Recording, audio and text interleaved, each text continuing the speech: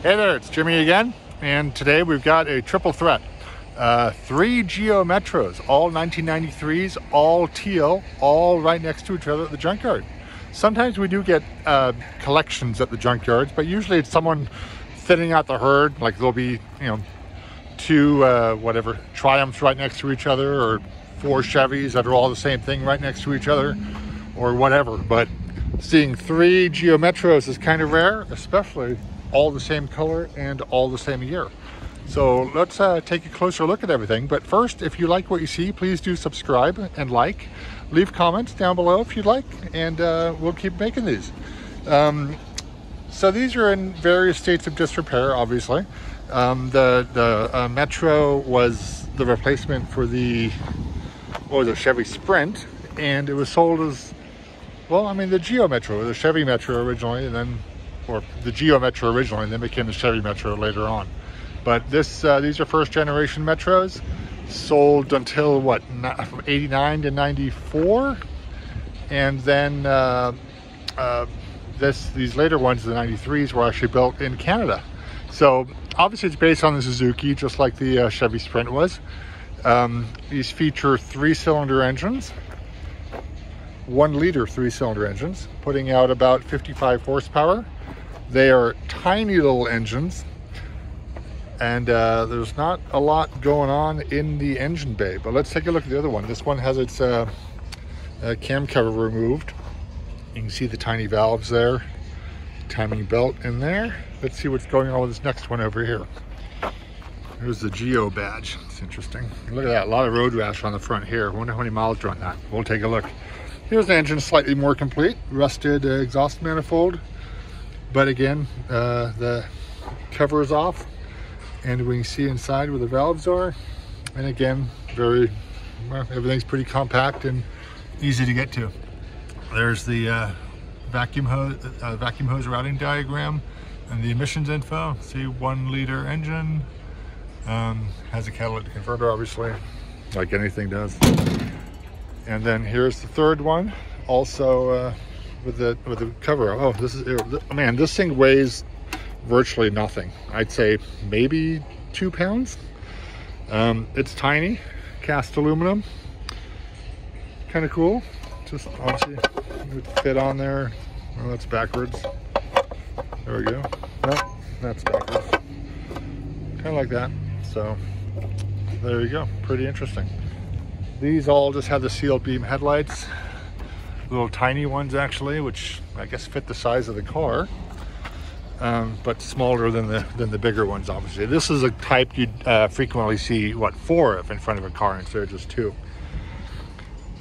But I kind of like the teal color. It's very 90s. It fits. Uh, it's a it's a happy car, not fast, but um, it's fun driving a slow car quick. Uh, probably more fun than driving a fast car slow, right? So let's look at the, the rest of this thing. So this one, this is probably the most beat one of the bunch. It's been the yard here for a while. Rear window's missing.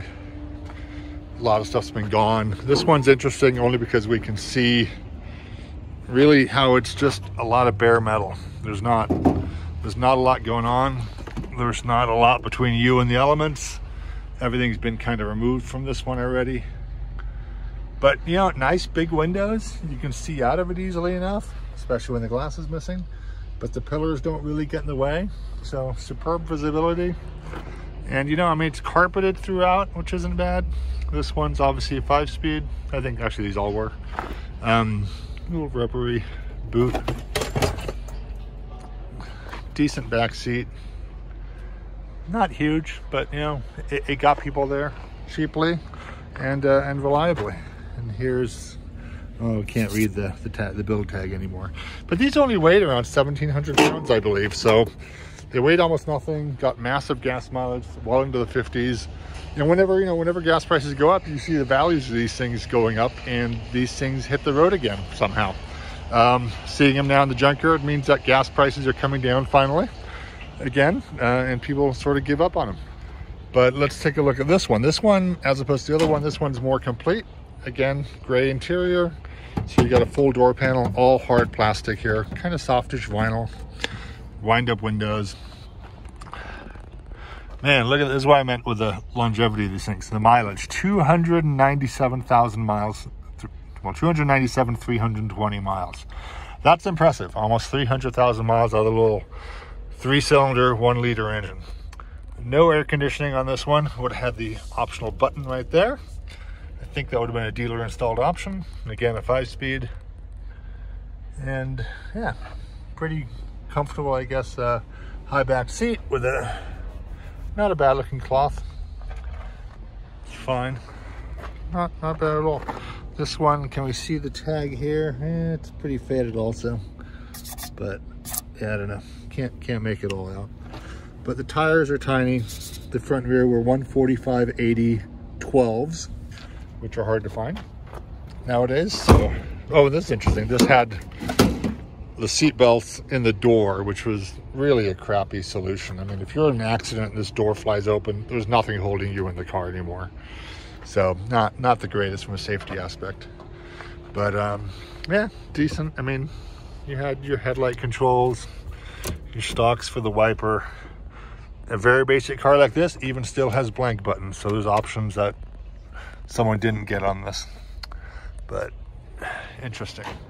And it does have my little, one of my favorite features, which is a Japanese car thing with the antenna that pops out of the roof right there.